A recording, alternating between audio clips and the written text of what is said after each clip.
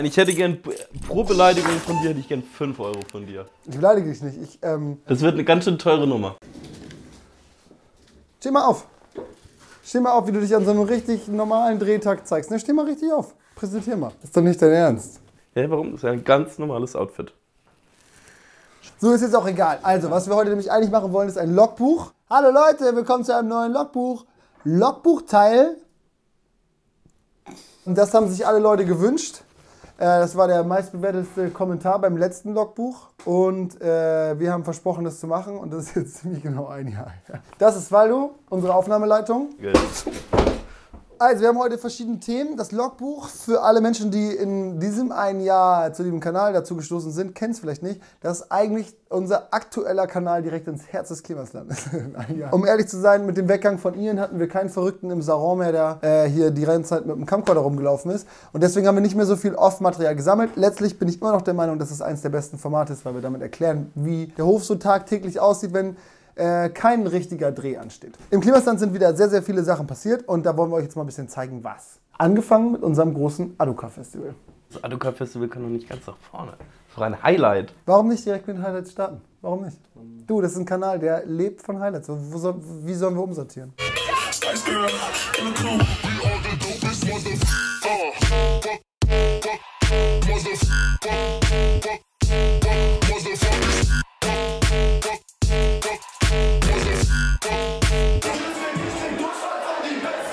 Ich ramm die Messerklinge in die Journalistenfresse. Bullen hören mein Handy ab.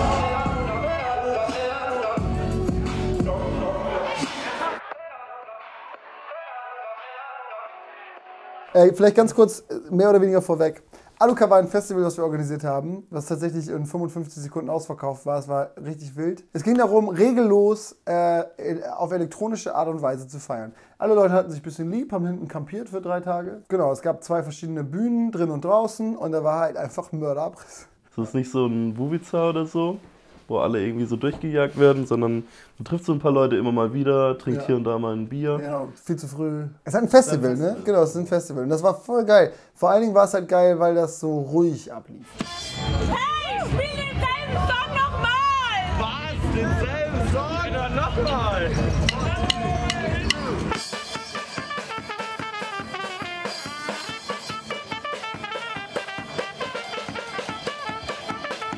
Die Band, die sich jeden Monat einen neuen Namen gibt, haben auf dem ganzen Hof überall. Also Die waren ja ganz normal als Besucher da. Die waren, die waren da und haben das einfach gemacht und die wurden dann von uns mehr und mehr vereinnahmt. Jetzt äh, beim letzten äh, Schnappertrümmerter waren die auch da. Äh, Im Laufe des Festivals wurden die vereinnahmt und seitdem müssen die jedes Mal, wenn hier was ist, müssen sie wieder kommen.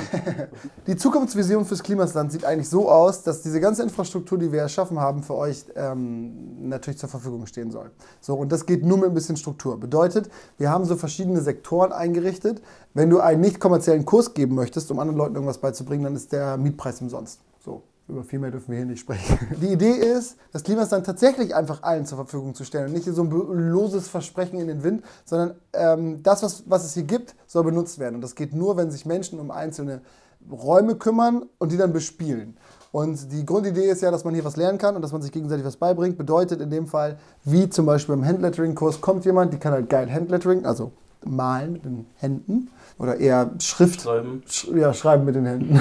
Schön schreiben einfach. Ja. So, ein Handlettering ist in diesem Fall, ähm, ein Profi kommt, lädt sich ein paar Leute dazu ein und malt ähm, Buchstaben. So, und dann bringt das, äh, bringen, bringt sie, hat sie das vielen anderen Leuten beigebracht. Und das fand ich zum Beispiel wunderschön, wie äh, in dem Fall dann das Café da aussah. Und da haben die sich alle getroffen und haben dann ein bisschen gemalt und nächste Situation.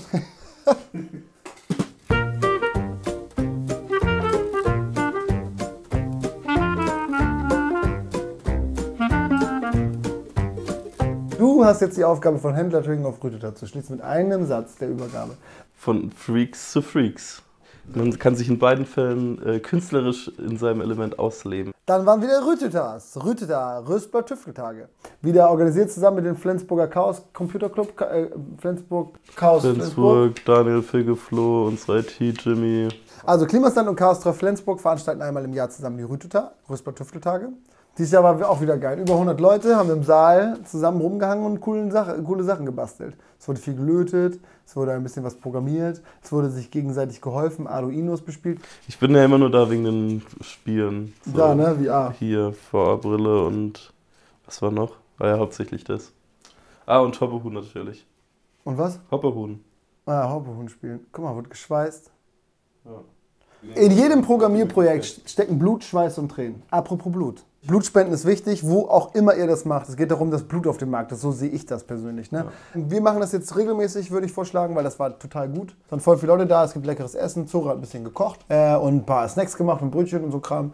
Und dann kannst du da schön hin. Das geht alles ganz schnell. Ich konnte dieses Jahr leider nicht, weil ich glaube, ich, ich war Wir waren in Äthiopien davor, ich Genau. konnte mich auch nicht.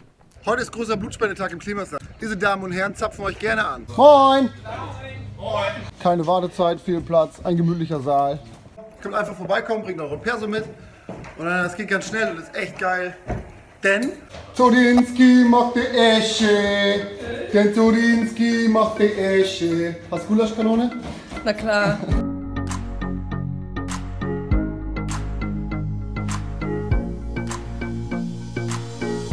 Also es gab einen Drehtag, da war ich nicht da. Oh, Ich hätte nur nachher das Ergebnis gesehen. Die wollten diesen Wibbelwobbel da äh, runterschleifen, damit der richtig funktioniert. Erstens haben sie das nicht richtig runtergeschliffen. Das habe ich auf dem Video schon gesehen. Und als ich dann das Video bekommen habe zur Abnahme, habe ich gesehen, dass Brian, wenn Chef nicht da ist, ne, dann macht er hier richtig Aufstand und gleich Alarm. einen weißen Helm aufgesetzt. Erstens, hat- das hatte der erste Move, Innenfutter raus, Helm auf, dass er wieder aussieht wie so ein Lego-Männchen. Und dann als allernächstes hat er da eine Sprache rausgerotzt, wo ich dachte so, lass das mal deine Mutter hören. Hör mal rein, guck mal. Boah, das ist echt scheiße. Da hat jemand Scheiße reingeworfen. Krieg ich schon wieder so eine Scheißbrille. So, und hier haben wir die Scheiße, über die wir sprachen. Du bist ein Scheiße, du hast einen gelben Helm. Du hast einen weißen Helm ohne Innenfutter. Ja, das Gestänge war scheiße. Halt mal unten auf den Boden, Arschloch! Halte, halt die Fresse. Ich hoffe, du brichst jetzt was. Scheiße, scheiße, scheiße, Arschloch!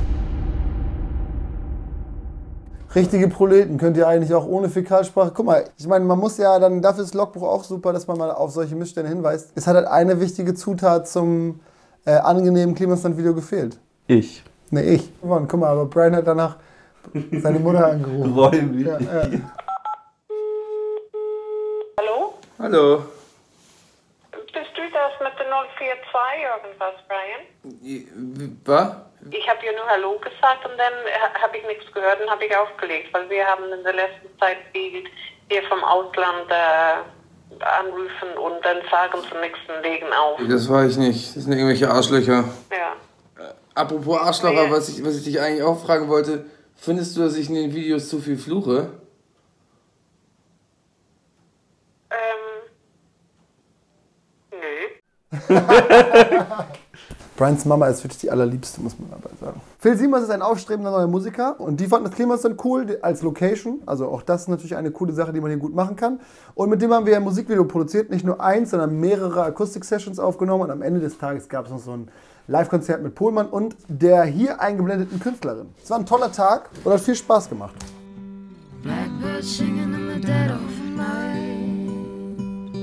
Won't you take these sunken eyes and learn to see on. I see the blues.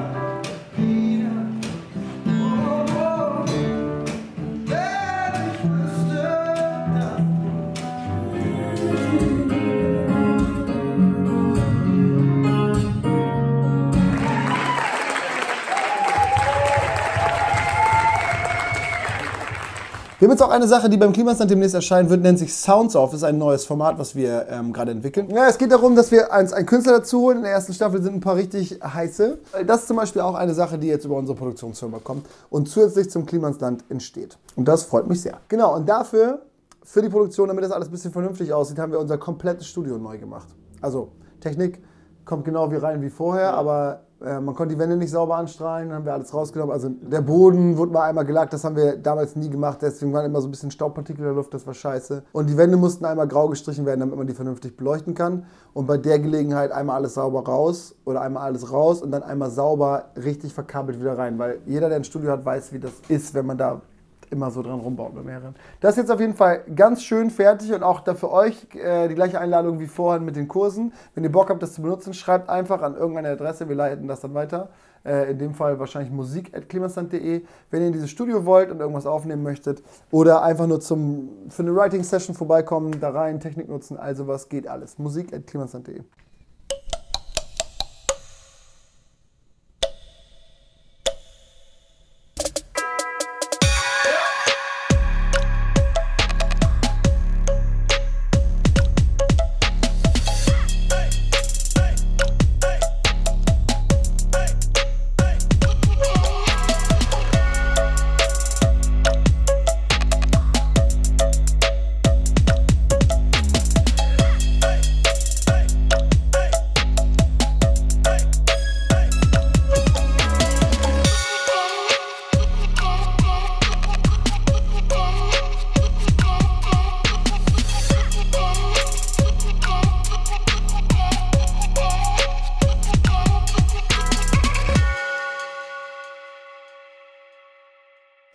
Ja, vor allen Dingen Malte, ne? Malte, Joel war da noch da und Jonas, die haben da richtig geackert und halt wirklich floddy. Das krasse, Malte rettet uns irgendwie seit einem halben Jahr ständig den Arsch. Und irgendwie sieht man die. Also das Geile über Malte, mit dem muss man eigentlich auch nochmal eine Folge machen, ist, dass der hier so ein halbes Jahr rumgelaufen ist und halt irgendwie immer so da war und sich ein bisschen um die Mucke gekümmert hat. Und irgendwann am Lagerfeuer war so, was hast du eigentlich vorher gemacht? Also ja, ich war jetzt so ein paar Jahre unterwegs. Jetzt letztes Jahr war ich mit Justin Timberlake, davor mit Rihanna auf Tour und so. Ich so was? Das ist ein krasser Typ. Und der ist auf jeden Fall auch für euch zuständig, wenn ihr herkommt und in das Studio geht. Der hat hier äh, sich das alles ausgedacht, wie das gehört. Und dem gehört zum Beispiel auch die ganze Hardware da an der Ecke, von der ich keine Ahnung habe. Aber dann lass uns doch. Was ist mit dir denn los? Ah, die. Diese, äh. Die sind. So, löschen Digga, was ist hier los? Ist das geil? Volles Upgrade, ey. Schnabutrömerter 2019, unser großes Food-Festival und Trödelmarkt. Trödelmarkt. Wieder über 100 Helfer, was mich jedes Jahr wieder extrem glücklich macht. Das war richtig krass, wieder eine geile, geile Truppe. Und dieses Mal mit der großen Herausforderung Regen. Wir hatten bisher bei unseren Veranstaltungen nie schlechtes Wetter. Immer, immer, immer Sonne und diesmal nicht ein bisschen Regen. Nicht ein kleines bisschen. Ein großes bisschen. Am Anfang war noch alles okay. Ne? Samstag war ein okayer Tag. Waren schon ein paar Leute da, war aber voll entspannt. Wir haben den Hof viel größer gemacht als letzten Jahre. Also für alle Leute, die jetzt zugucken und schon mal da waren und von der Anzahl der Menschen überwältigt waren, es hat sich alles ein bisschen geändert. Wir haben jetzt den ganzen Acker mit dazu genommen, was einfach dazu führt, dass sich das viel besser verläuft und dass es keine Schlangen mehr gibt, kein Chaos, kein. Es ist ein bisschen weniger alles. Alles so ein bisschen auseinandergezogen. Genau. Und wir sind natürlich viel, viel besser vorbereitet.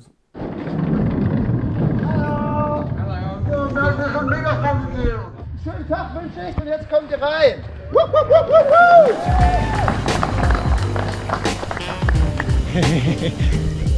Herzlich willkommen im Klimastadt!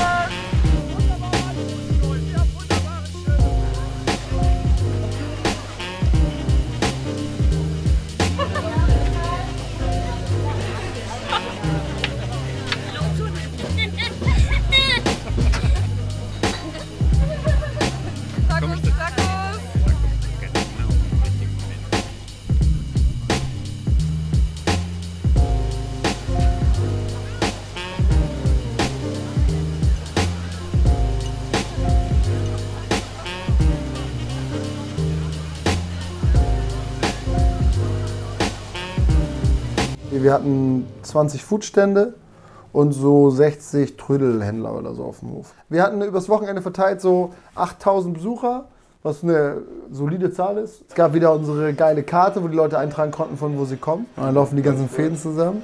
Ja, voll geil. Es gab natürlich auch Live- Live-Mucke. äh, Frau Winzig war da und hier voll viele aus unserem Team haben gespielt. Ne? Also auch äh, Chris. Chris hat Mucke gemacht.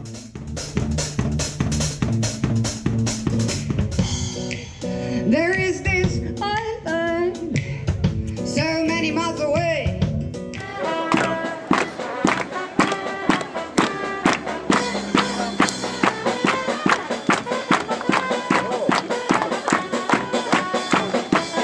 Es gab coole Shows von äh, Kinderzirkus.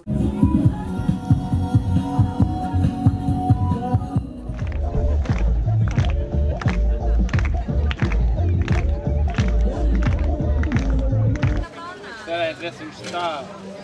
Möchtest du auch ein bisschen glitzern?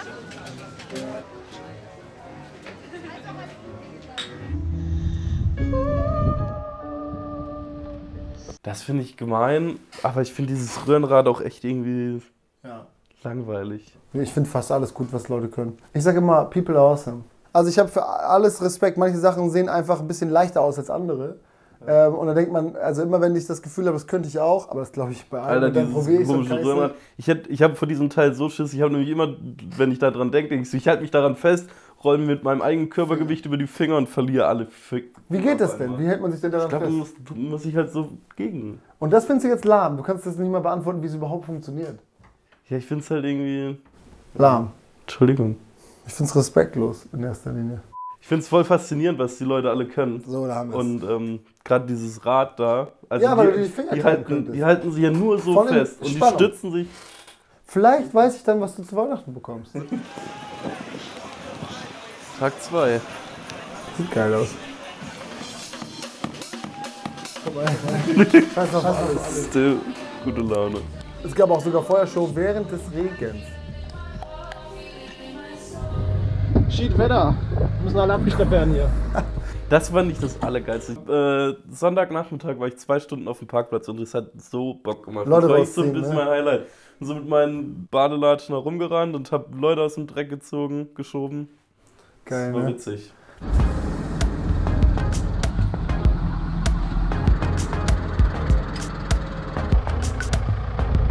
Gute Einfahrt. Da sind noch Leute hier baden gegangen, was ich auch geil finde, das Team. Alle mit Schuhen in den Teich. Oh, ey, es war so kalt.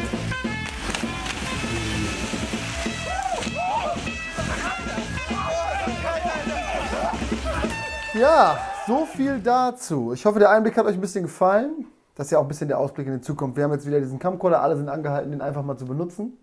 Da steht jetzt überall, liegt jetzt irgendwie eine Kamera rum. Wenn man dann, wenn alle Leute danach mal kurz greifen, würde ich das voll gerne wieder öfter machen. Also, würde mich freuen, wenn ihr Bock auf äh, die Sachen habt. Ähm, also, wenn, wenn ihr Lust auf, äh, wie ist das hier? Klima ins Land? Logbuch. Wenn ihr Bock auf Logbuch habt und spannende Inhalte, die hinter der Kamera passiert, dann Kommentiert mit der 3 und ruft die 0800 Backpapier an und hinterlasst Brian eine schöne Nachricht, was ihr Waldo zum Geburtstag wünscht.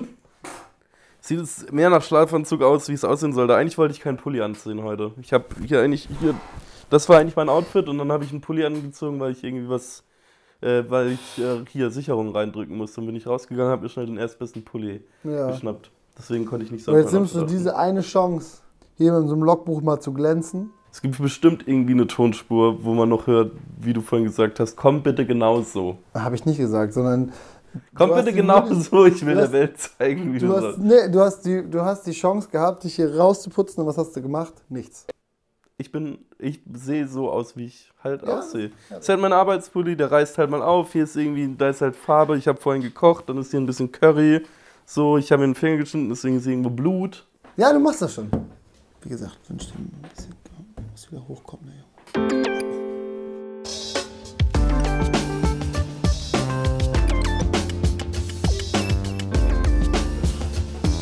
Okay, fertig. Das war's.